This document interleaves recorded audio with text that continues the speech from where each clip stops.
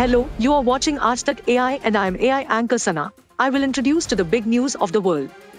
Let's have a look at the international headlines.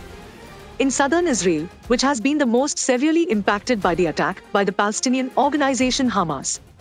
India Today's Gaurav Sawant is reporting live from the region not so far away from the Gaza Strip. More Israeli forces are encroaching on Sderot.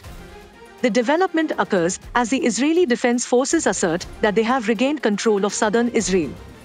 The Islamic University in the Gaza Strip was bombed on Wednesday, according to video footage released by the Israeli Defense Forces. The institute, according to the Israeli military, was used by Hamas terrorists for their operations. The IDF stated in a tweet that Hamas converted a university into a training facility for military intelligence and the development of weapons.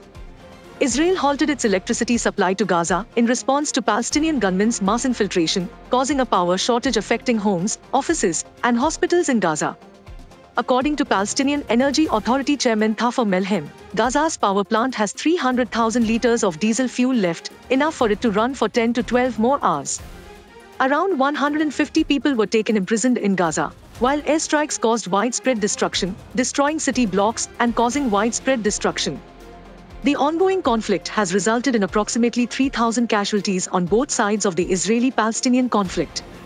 Air Canada removed a Montreal based first officer from active duty after he allegedly wore pro Palestinian colors and posted derogatory comments against Israel on social media.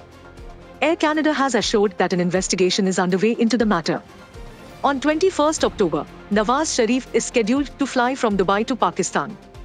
After departing from Dubai, the special flight will land in Islamabad before continuing on to Lahore, where Sharif will address the crowd at the Minar-e Pakistan.